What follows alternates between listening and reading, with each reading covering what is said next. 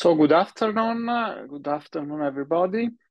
Uh, um, I'm Carlo Alfieri. I will be the moderator of this uh, uh, seminar uh, about the treatment uh, of the CKD-MBD after kidney transplantation.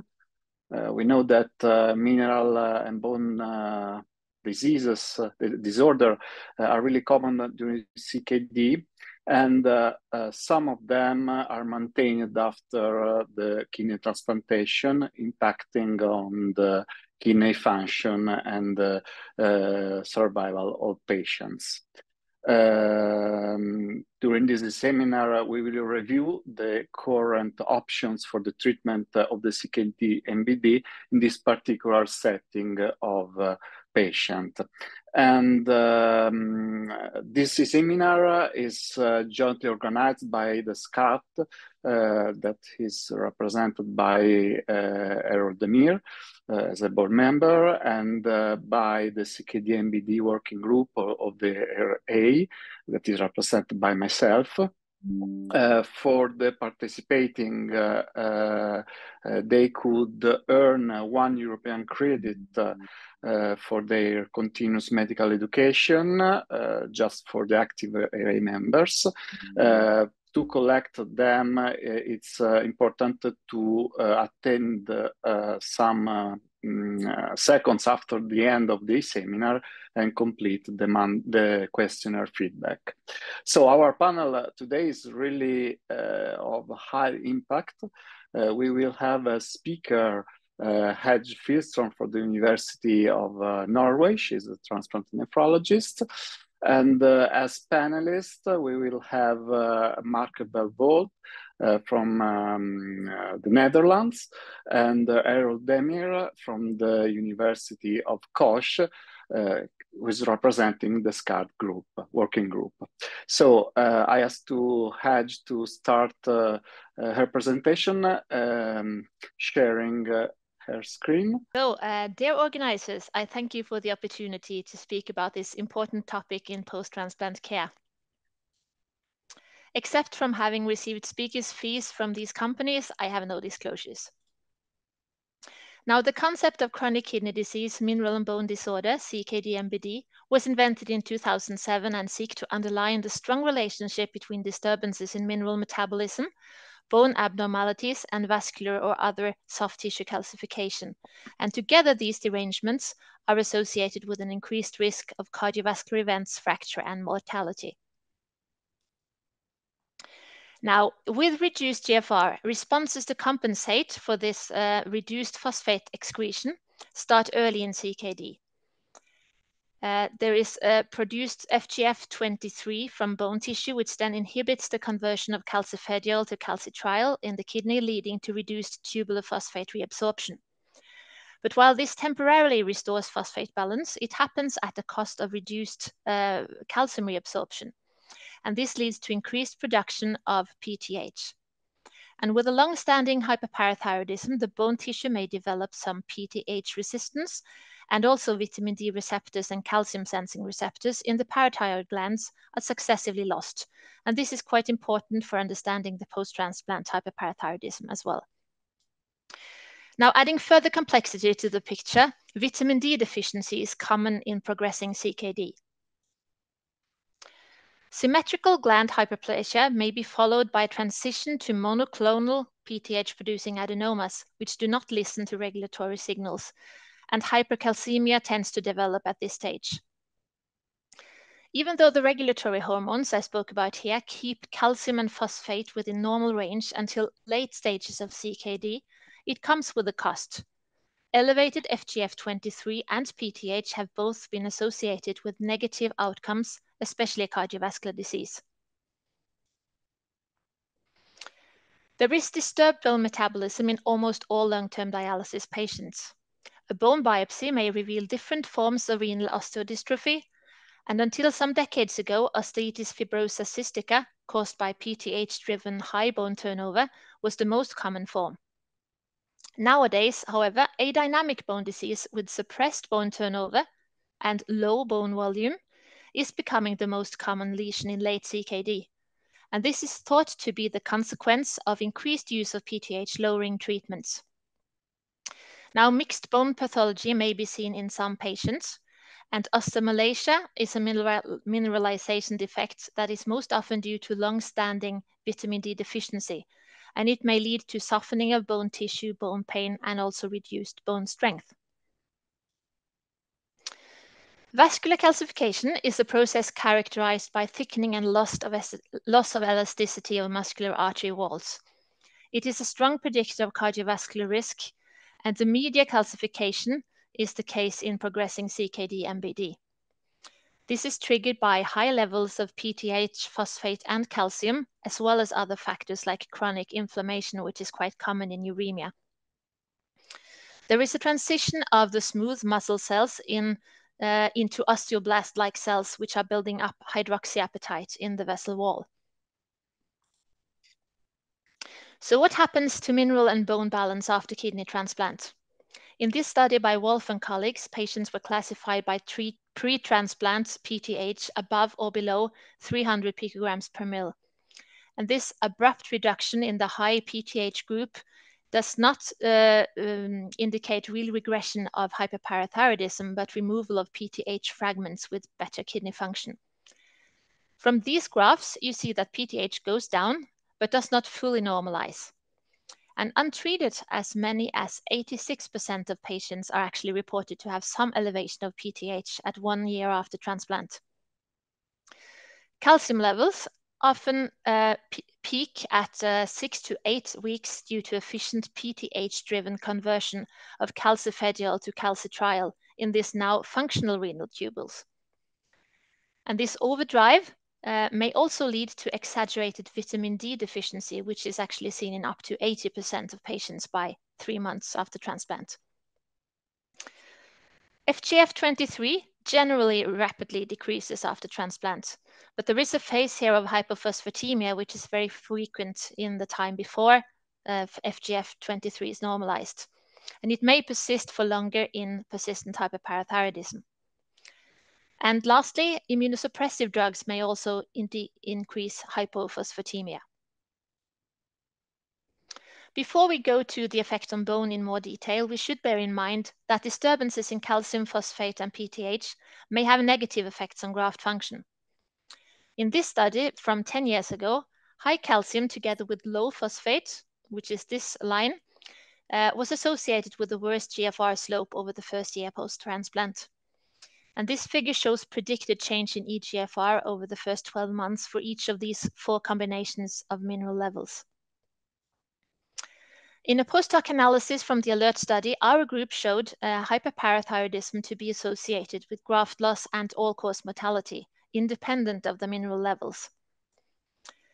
And then recently, another study confirmed such an association in normal calcemic uh, transplant recipients with hyperparathyroidism. Our patients come to transplant with high rates of osteopenia and osteoporosis. Renal osteodystrophy, diabetes, dialysis treatments, corticosteroid use before transplant are all factors that predispose for osteoporosis on top of the general risk factors. Glucocorticoids have a negative impact on trabecular bone, and also persistent hyperparathyroidism in the post-transplant period has been associated with increased cortical and trabecular bone losses, especially in the first year. And the low phosphate levels may impair bone mineralization. So the net effect of these exposures are a resorption of bone tissue followed by an increased risk of osteoporosis and fractures. In the long run, risk of osteoporosis and fracture is most dependent on graft function and whether FGF23 and PTH starts rising again. And lastly, we must not forget the increased risk in patients who are prone to falling. Now, reducing steroid exposure can minimize bone loss, and both early and late withdrawal is shown to improve BMD. In this study, you see that there's an analysis of American Renal Registry data where early steroid withdrawal was associated with a 31% reduced risk of fracture in the first five years. When treating CKD-MBD after transplant, we aim to avoid bone loss and osteomalacia, and we want to control persistent hyperparathyroidism and treat osteoporosis. The optimal level of calcifediol after transplant is not established, but in our center, we strive to maintain levels above 50 nanomoles per liter. And this should be throughout the year, and we give native vitamin D supplements. In our experience, aiming higher which the endocrinologist wants us to do, will often cause hypercalcemia in a number of patients. Calcitriol and VDRAs lower PTH and ameliorate hypophosphatemia and is shown to improve BMD early after transplant. But again, some patients develop uh, uh, unacceptable hypercalcemia. So the off-label use of calcium calcimimetics may control both hypercalcemia and hypophosphatemia. But somewhat disappointingly, there's no reliable evidence for improvement in BMD with cinacalcet treatment. And then I'll come back to the antiresorptives uh, somewhat later. There is an ongoing discussion if calcium calcimimetics or the more definite option of para, uh, parathyroidectomy is the best solution for treating persistent hyperparathyroidism after transplant. And also what level uh, should, uh, should cause us to start treat. Calcimimetics uh, have insufficient effects in some patients. The PTH and the calcium may uh, remain a bit elevated. Uh, also, as I said, it doesn't really improve BMD, and there is digestive side effects that may limit dose and at least limit dose increments. Uh, parathyroidism, uh, parathyroidectomy, sorry, uh, will uh, lead to hungry bone syndrome postoperatively in most patients. And uh, these patients need to have intravenous calcium supplements and lots of vitamin D supplements. And there may be quite a big shifts in the mineral levels postoperatively. Um, there's also risks of surgical complications like uh, some vocal cord uh, lesions and hypoparathyroidism. And the risk of relapse is actually up to one third after parathyroidectomy. Uh, there's been some concern with both treatments uh, for the risk of adynamic bone disease. And this is mostly due to the fact that we don't know what is the ideal PTH level after transplant. Um, as I told you in the beginning, there is a PTH resistance in the skeleton and also there is changes in the receptors in the parathyroid glands, which uh, indicates that there might not be uh, very helpful to have very low PTH after transplant. Also, there may be negative effects on graft function, which has been uh, done some research about, but this meta-analysis by Frey and uh, colleagues show that um, there's really no really big difference between uh, parathyroidectomy and cinacalcet when it comes to serum creatinine after uh, these treatments. One should postpone surgery until 12 months after transplant to allow for maximum shrinkage of glands. Also, uh, we want to have a stabilized transplant function before going into surgery. This recent publication by Dista Ban Chong and collaborators present a flowchart that may be used for the management of post-transplant hyperparathyroidism. Surgery before 12 months after transplant is only considered in case of severe hypercalcemia rapid bone loss, fracture, or kidney stones. While calcimimetics may be introduced uh, after 3 to 12 months um, if there's a hypercalcemia and progressive increase in PTH. If moderate uh, hypercalcemia after one year, calcimimetics could be continued, while normocalcemic slight to moderate hyperparathyroidism could be observed and monitored for complications. And the candidates for surgery would be those with the highest PTH and calcium levels, particularly those with signs of ongoing bone loss, um, uh, even if they're on calcimimetics. Some decades ago, the immediate post-transplant weeks were considered detrimental to bone health, but modern immunosuppressive regimens contain less corticosteroids than before, resulting in relatively stable bone mass in the central skeleton. Still, worsening BMD at the peripheral sites continues to be seen in our patients, and there is considerable ind individual variation in bone strength at the time a patient comes into transplant. This quite recent observational registry study of almost 4,000 patients in Sweden found five-year fracture rate to be 7.4%, with almost half of the fractures uh, in the forearm. Among the clinical risk factors they found for fracture were diabetes nephropathy, pre-transplant dialysis therapy, and acute rejection. Most fractures occurred in the first six months, and having a fracture in the hip or spine increased risk of death substantially. So we have the demographic risk factors, but how may we further identify kidney transplant recipients with high risk of fracture? In addition to evaluating demographic risk factors and comorbidities, we'd like to gain information about actual bone strength. The gold standard for discriminating the different forms of osteodystrophy is bone biopsy, but the method is invasive and considerable experience is needed from the, the pathologist.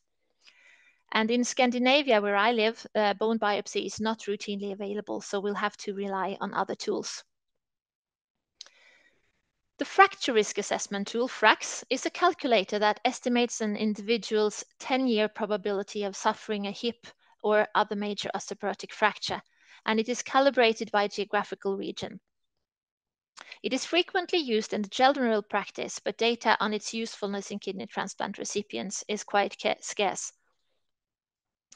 This study comparing the observed 10-year fracture rate in kidney transplant recipients with the estimated risk from FRAX found a rather good correlation, both with and without inclusion of BMD data. Measurements of BMD by DEXA scan is the most used tools to assess fracture risk.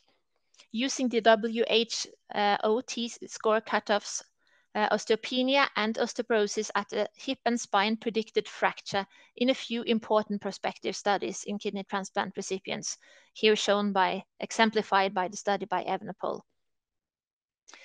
There is, however, considerable individual variation in the development of bone density over the first transplant year. Here you see a recent study by Meng showing how uh, the, there is a change in lumbar spine, total hip, and femoral neck over the first year. And you might want to know if your patient is up here with a, a high positive change or down here. So to know which course your patient follows, serial DEXA scans seem justified. Several new tools may be applied to the conventional DEXA scan, and I will point to the trabecular bone score, which uses grayscale interpretation of pixels from the lumbar spine images. It has been incorporated into newer versions of FRAX as it predicts a fracture independent of BMD in the general population.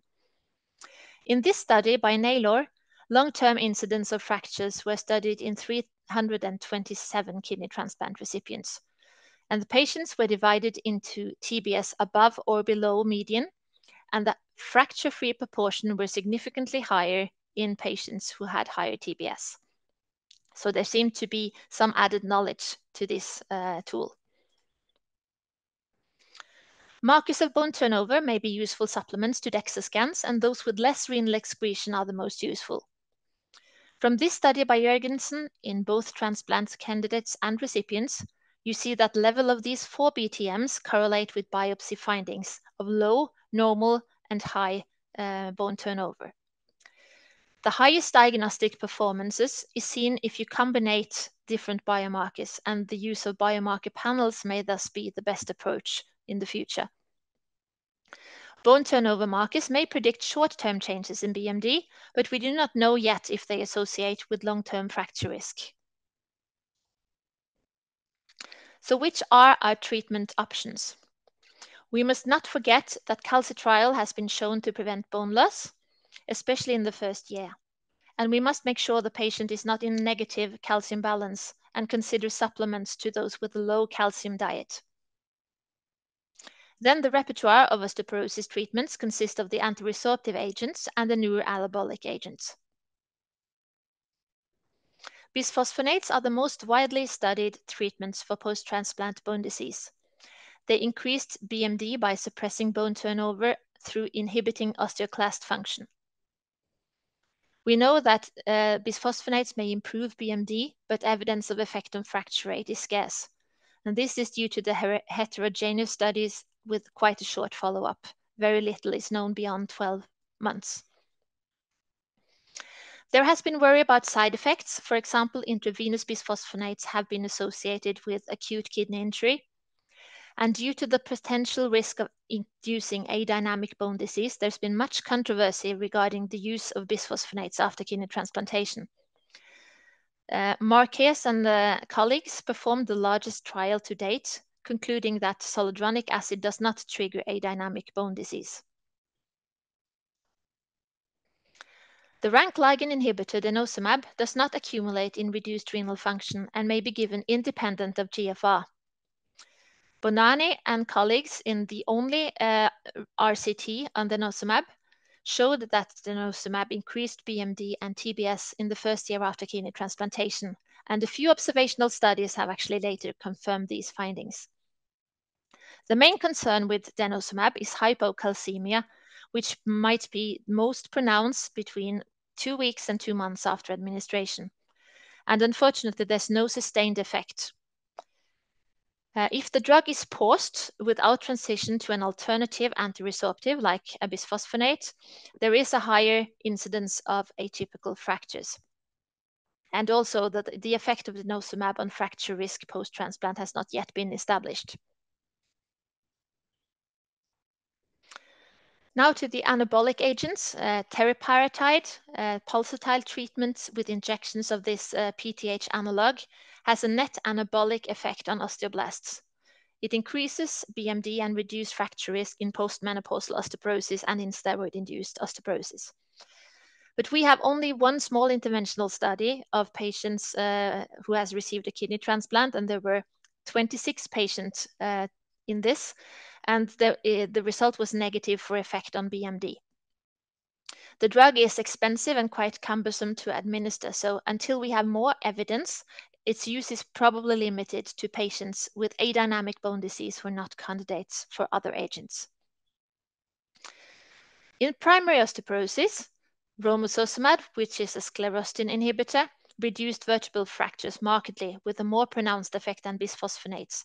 And this might be because it has a dual effect. It's all, both uh, anti-resorptive and anabolic. However, there's been signals of increased cardiovascular risk in two large studies, and so far there's been no studies in CKD or transplant recipients.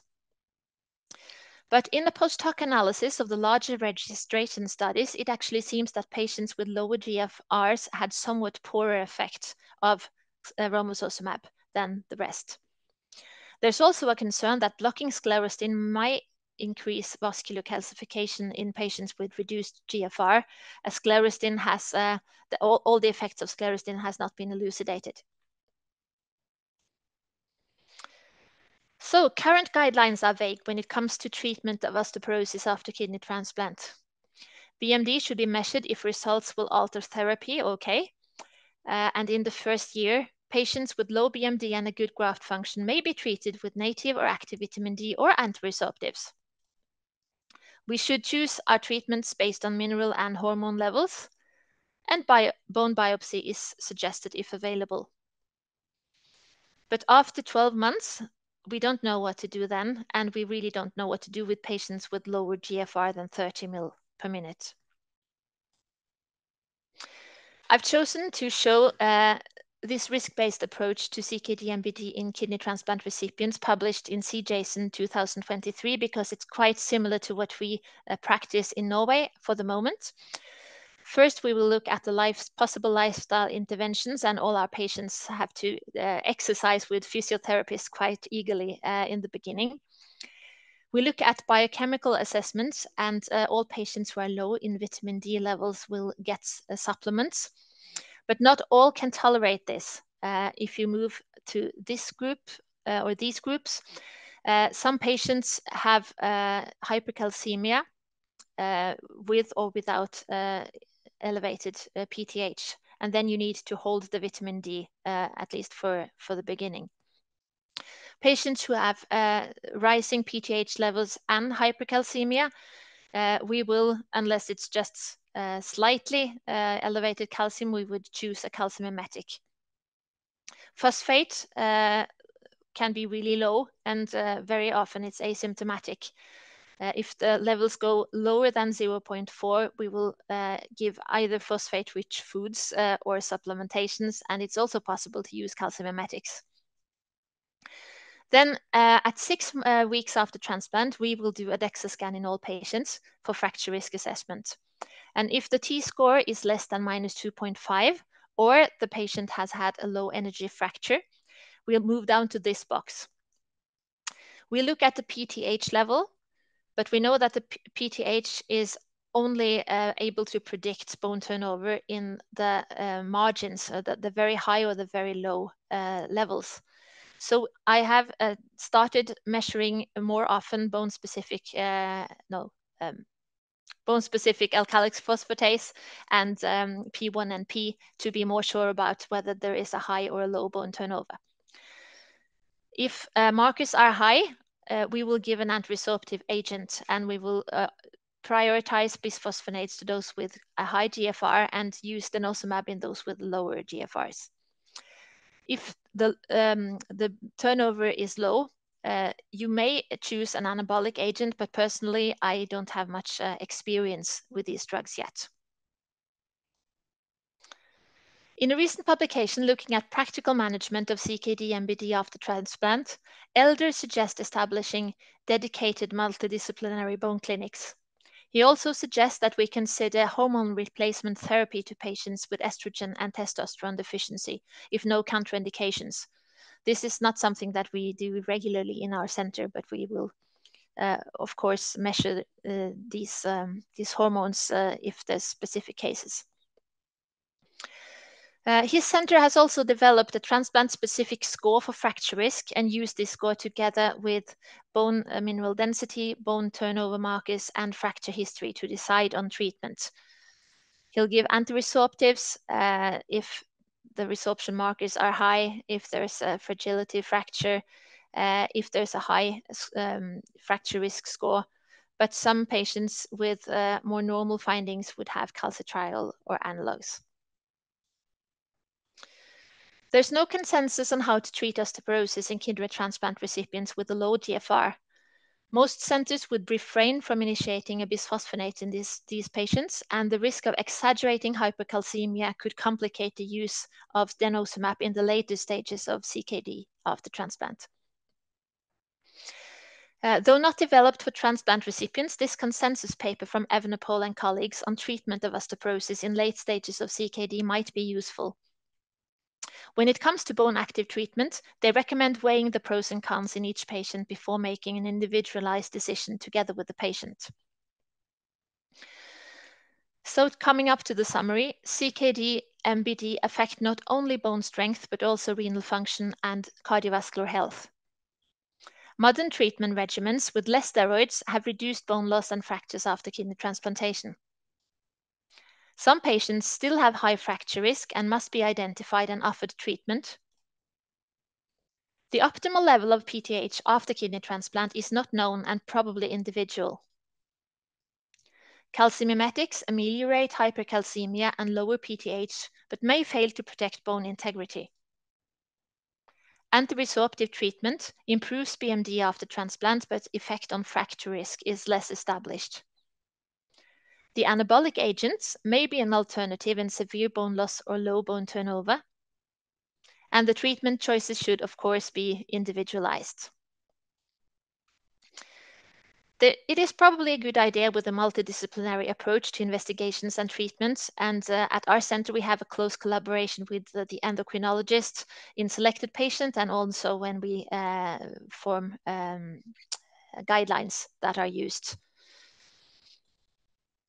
So I will just end with showing these Norwegian suggestions uh, that we have developed at our center. Thank you very much.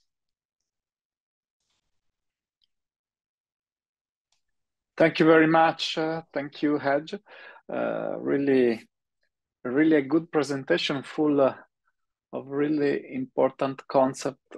And um, effectively, we, we have a lot of questions uh, and I also have some questions for you. Uh, but maybe we could start uh, uh with um, with Erol if uh, he wants to to comment or uh, ask you something? Uh, I want uh, thank you for the nice, nice presentation, Hege. The topic is quite extensive and en encompassing not only mineral and bone disorders, and but also vascular calcification, cardiovascular events, and mortality. Ongoing research is actively exploring new biomarkers related to this field, such as serum calcification pro propensity T50 score, uh, I know, Hege, you are in experienced some of the research on this field and radiofrequency echocardiographic multispectrometry for assessing bone turnover. On the other hand, biomarkers is still needed on the detection of the quality of the bone and assessing the vascular calcification. Uh, currently, a number of uh, drugs are utilized for the treating CKD MBD. Although these drugs are better on the controlling of the mineral metabolism, but there is a lack of the treatment options for the preventing of osteoporosis. Also, there remains a pressing need for the curative treatments, especially in cases of low uh, turnover bone diseases and vascular calcification. Additionally, further, further research is required to shed light on the mechanism behind bone turnover and develop strategies to inhibit vascular calcification. Thank you, Carlo, and thank you, Hege, for your uh, nice presentation.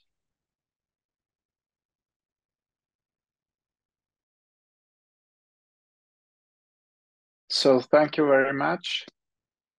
Uh, Hege, do you want to comment something? Um, I didn't get really what was the most important of these questions, but uh, I think uh, one of the challenges uh, in uh, the the low bone turnover versus the high bone turnover is that we, without bone biopsy, we have uh, only surrogate markers uh, to to show for us at the moment, and uh, especially the hyperparathyroidism. our research has shown that there is um, systemically probably not good to have high PTH. But when it comes to the bone, it is probably uh, better to have slightly elevated PTH due to the skeletal resistance. So I'm a bit worried that it's difficult to find the perfect line uh, due to the fact that what is best for the bone might not be best for the, the vasculature. Um, so this is one thing that I'm concerned about at the moment, and we really need more research on, on this because according to the study that we did, we should, since it's a high PTH is associated with um, with graft loss and mortality, we should want to to lower PTH at uh, any cost. But then again, low bone turnover might be the the result. That was just one of the questions of Erol, but uh, there were many, so maybe someone else can comment as well. Yes, I, I, totally, I totally agree with, with you. If I, if I can tell something um, about the control of PTH in transplant patients, uh, we should not forget that uh, also, even if our patient have uh, has one or one point uh, two of creatinine, it doesn't mean that uh, he has a normal renal function. Uh, a very good transplant in the best uh, of the surgery of the, of the transplant center has almost 60, 70 of uh, GFR. So it means that uh, a, a, a, small kind of CKD is present in them. So I, I, I, totally agree with you that probably we should personalize the, the, uh, the levels of PTH in those patients uh, um, uh, without being afraid to normalize it, but but considering that probably they don't have a normal renal function, so the risk of that dynamic bone disease is present. And just to to follow this this uh, uh, this concept, uh, we have some questions from the um, in the question and answers that I didn't answer because are, all of them are really interesting.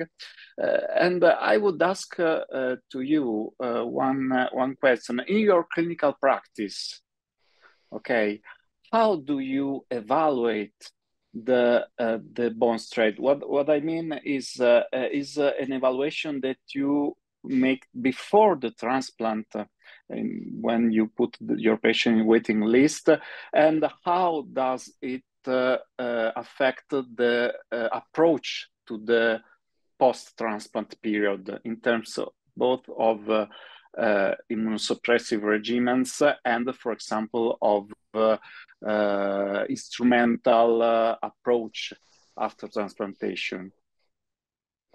Uh, if we start at uh, patients coming into transplant, uh, since we work at the National Transplant Center, we get lots of information on every patient when we approve them as candidates.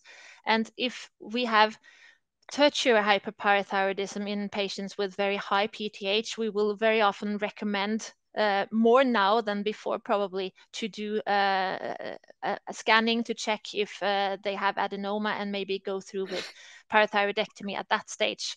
Uh, because um, personally we have experienced that uh, some patients who receive this parathyroidectomy later for this tertiary hyperparathyroidism they uh, get lower uh, GFRs, and it, it, seems not so neutral as the research says for the graft function. Uh, and uh, also, we could expect that uh, when they're waiting for one or two or three years and have a tertiary hyperparathyroidism, they will be worse off with their skeleton when they come into transplant. So that's one thing that we are uh, are saying to to them when uh, we approve for transplant that maybe you should consider the surgery before.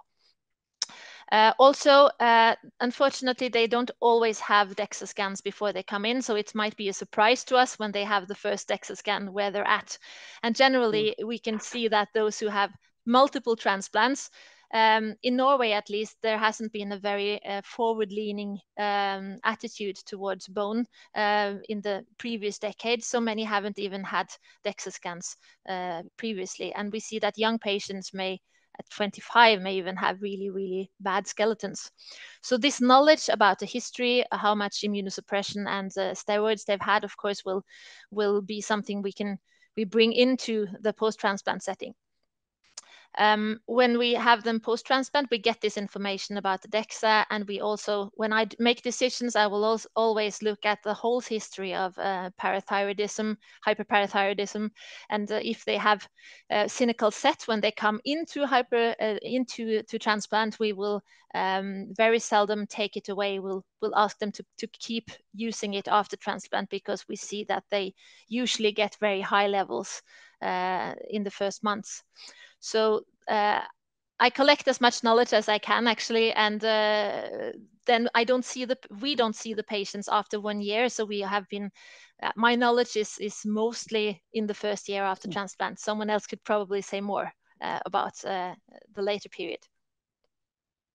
Thank you very much. I don't know if Mark wants to to comment or to yeah, yeah. make a question. Thank you, Carlo. Shortly, uh, because I noticed there are a lot of questions uh, incoming. So Hege, thank you very much. Also from my side, this was a wonderful overview. I've one question and one remark for you. Um, the, the remark is that usually we can mitigate the risk of hypocalcemia due to denosumab if we supplement vitamin D beforehand. And my question is that I noticed that in the CJASN publication, there was no role for the FRAX score. And I noticed that you advocate to do DEXA scans in all. I am aware of the fact that it has only been one study in post-transplant that looked at FRAX, so that needs external validation. But do you think it would be reasonable to perform DEXA scans only in people who have a high FRAX score? Uh, I think uh, if when we get more uh, knowledge about the FRAX and if it actually seems to predict fracture, it would be uh, possible to limit the DEXA scans and, and use the FRAX more because it's of course much less resource demanding.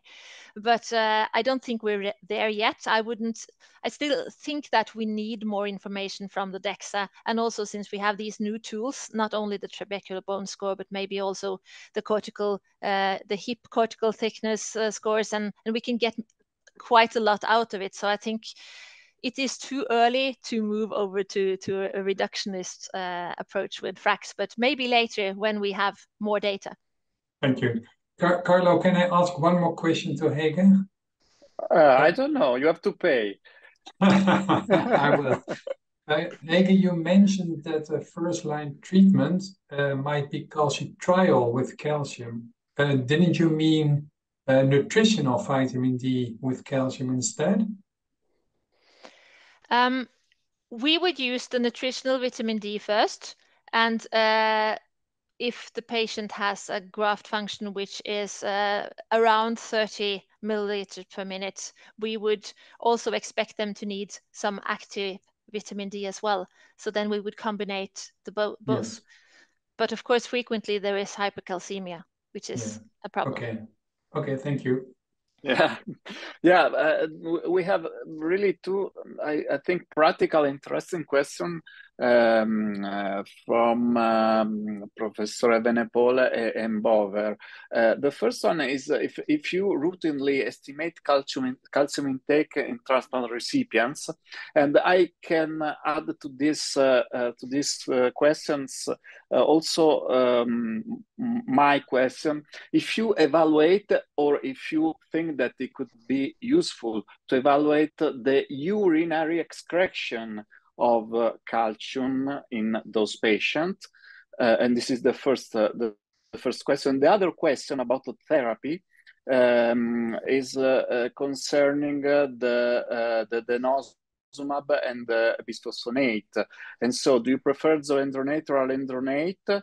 Uh, in a patient considered eligible for bisphosphonate and if you have experience um, we have some experience, but we can compare uh, about the uh, potential uh, effect of denosumab in increasing uh, the UTIs.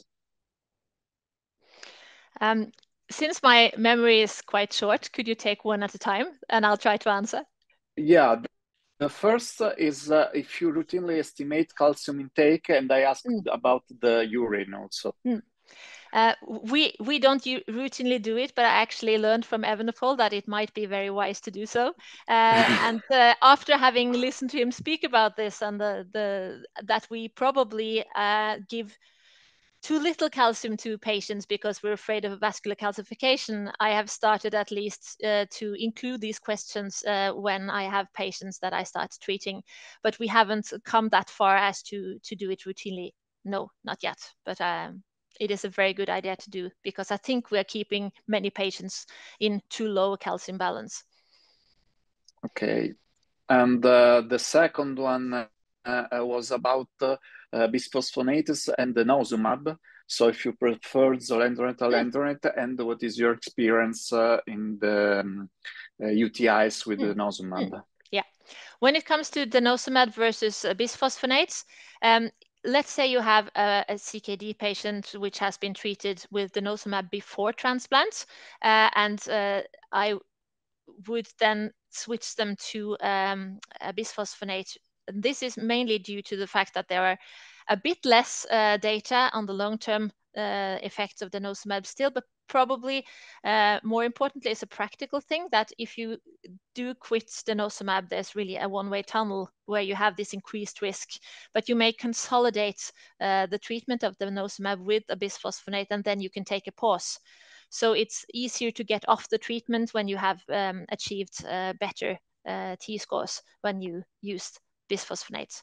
So in, in good kidney function, I would actually do this transition. I, I know this was also a question that we got in writing.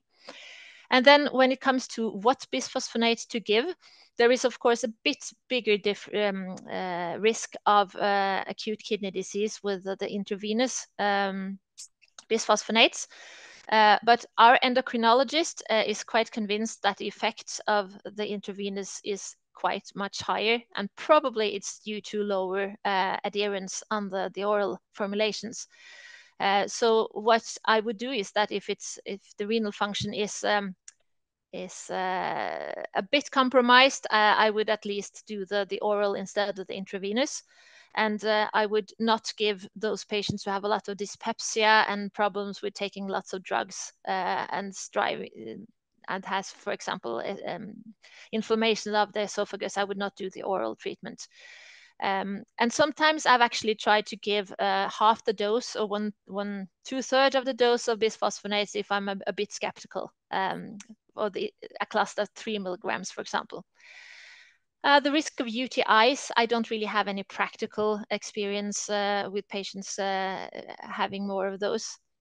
So I, I don't think I should be the one to comment on, on that. Yeah, uh, um, um, what is my experience is that um, obviously uh, selecting patients that are not contaminated by bacterial in the mm. in the urine, uh, we didn't find a, a, significant increase of UTIs uh, in the patient treated with uh, with denosumab. I, I don't know if uh, if maybe Mark uh, and Erol has some has, has experience to share about this this concept. No, no, not about the UTI, but we do have a way to look at the effects of oral bisphosphonate just by measuring bone turnover markers because it's nicely declining if mm. the uptake and the bioavailability is good. Mm. And this leads, well, then you don't have the burden to treat with IV. And I'm aware that you can do it uh, every month or sorry, every year. Yeah. But bone turnover markers can be quite helpful to study not only adherence, but also the bioavailability of the oral compounds. And, and there are a lot of questions about the early period after transplantation. I, I will try to summarize them. Uh, so the first one is uh, uh, if it makes sense to use bisphosphonates immediately after the transplantation uh, to limit uh, the uh, the early bone loss by steroids. And if you wanted to answer to this, yeah. I, I find the others.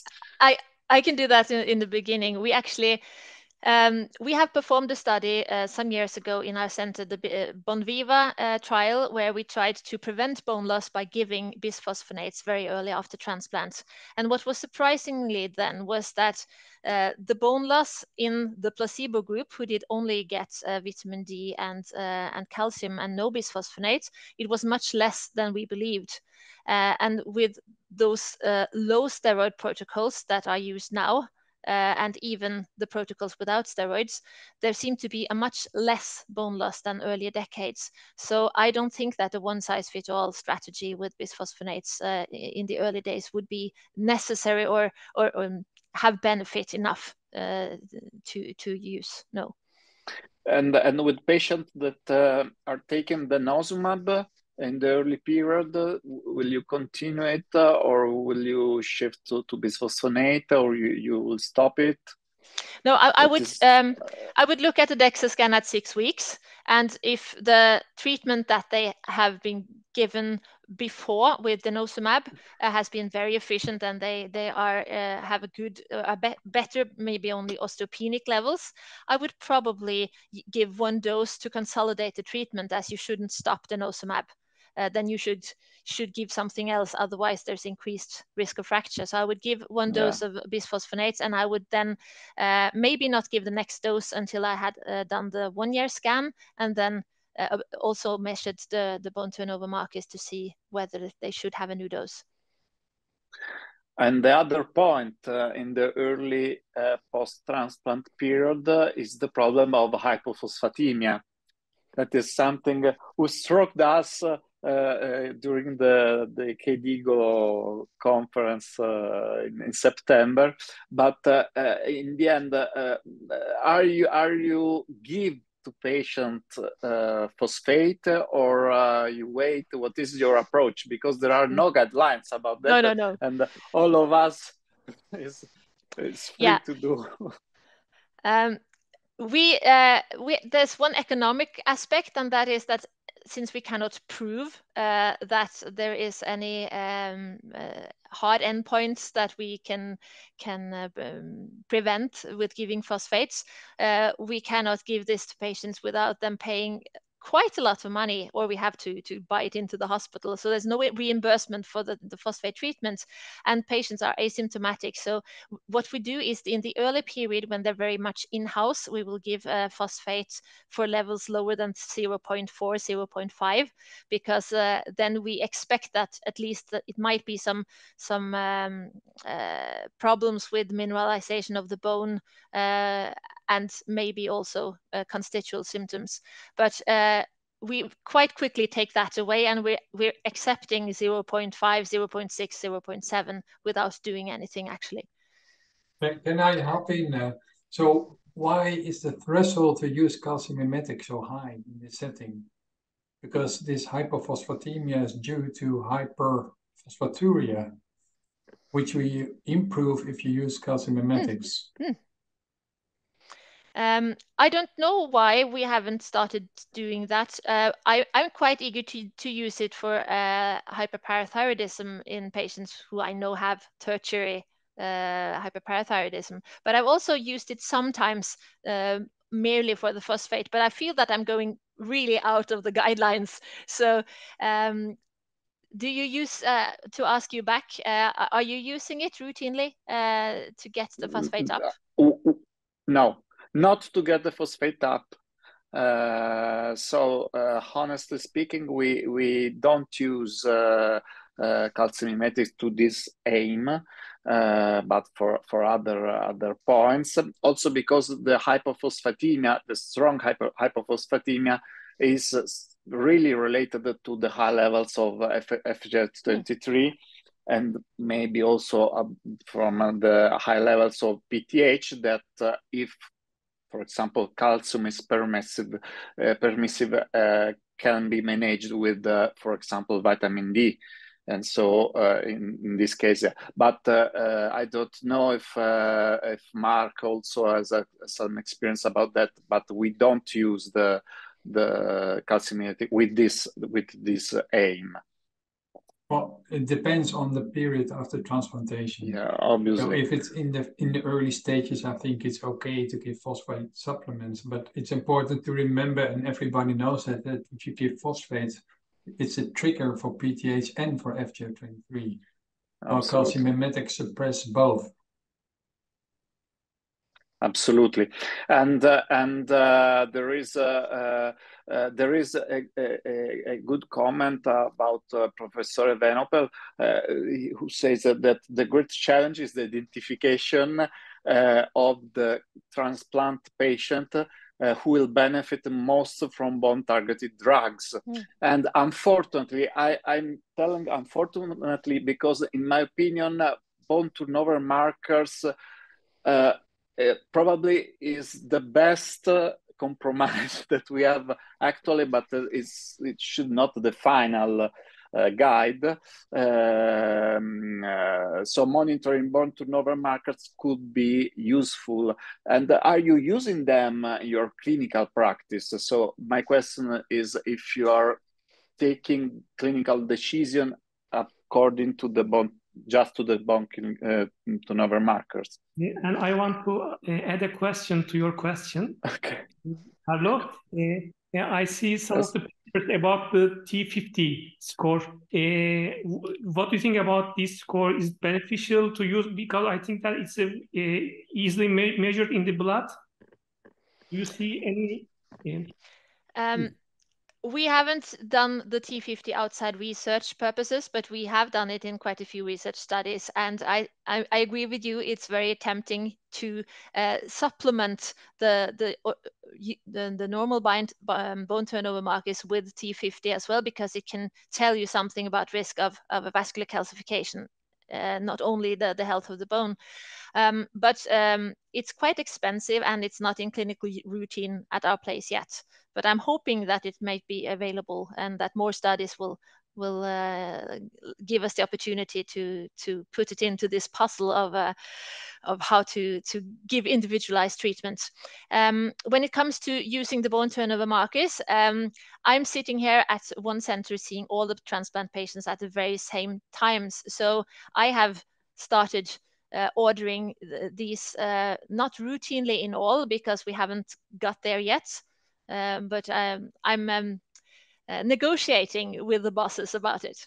Um, but I use it in patients that I think uh, I would want more information about to make a clinical decision. Yes, and uh, then uh, I think it's very useful, and it gives me, if I feel that I'm uh, indecisive about whether to start uh, bone active treatment or not, I feel that they can give me some um, extra um, security that I'm not uh, at least uh, giving them something that's bad for them.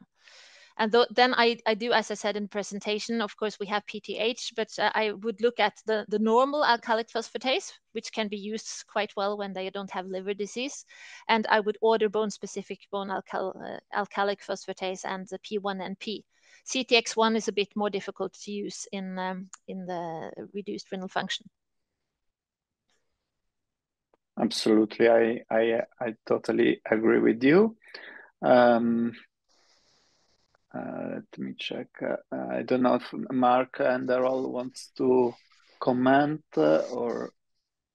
Uh, yeah, one one thing I want to bring up is that uh, you mentioned Hege that the the presence of what you termed adynamic bone disease might be uh, might lead to some hesitation to use calcimimetics. But I think it's it's important, and actually this is the point Carlo told me, that we must make a difference between adynamic bone disease and low bone turnover.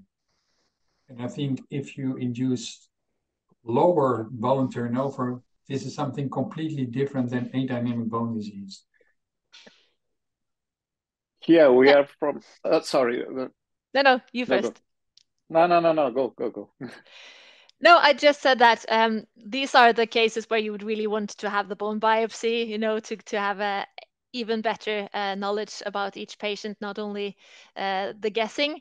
Um, but uh, I am personally using quite much calcimimetics, and uh, I uh, believe that uh, even though it's still off-label, it's um, when looking oh, I don't know how to say this in English, but the the evidence uh, seem to be uh, good enough to uh, advocate for lowering PTH in many of these patients in the in the the first year.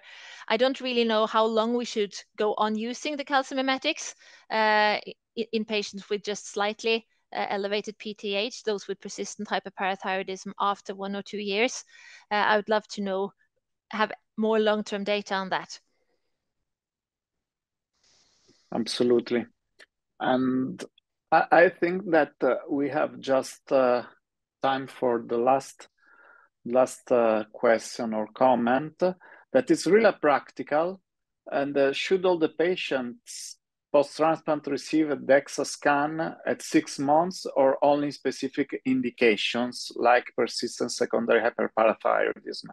Uh, what is your opinion? After that, I, I will tell you what uh, we are doing in our center.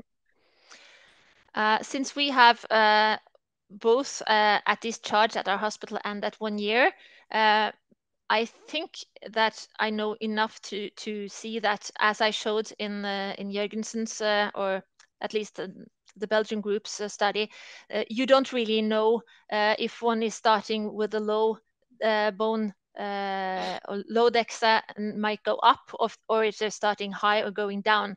Of course, you will know a bit of, uh, whether they had um, tertiary hyperparathyroidism before coming in, what were the state the status, and also you'll know by uh, the bone turnover markers. But still, uh, I think to do more than one DEXA in the first uh, year, one or two years is valuable because then you know what trajectory this patient follows.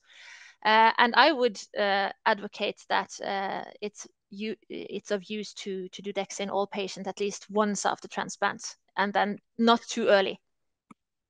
Yeah, um, honestly speaking, what are, are we doing in our uh, in our center? But because we don't evaluate DEXA before the, the transplant, uh, is to make an evaluation uh, around one month after uh, after transplantation and to repeat it after one year of transplantation mm-hmm. just because it's the the, the most uh, stressing period Uh, and then uh, if there are no particular uh, clinical problems uh, related, um, uh, we evaluate it every two years after that.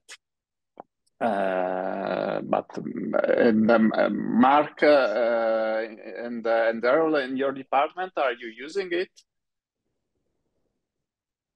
The DEXA scans. Yeah. Yeah, we do use it. Okay. Yes, after the first year, uh, we use it also. Just after the first year.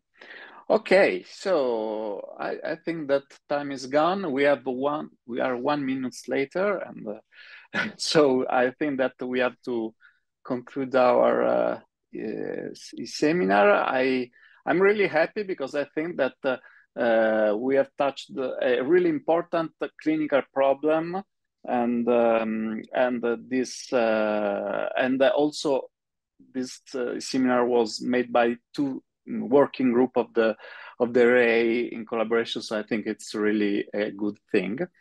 Uh, so I thank uh, you, uh, Hege, and also obviously Erol and Marc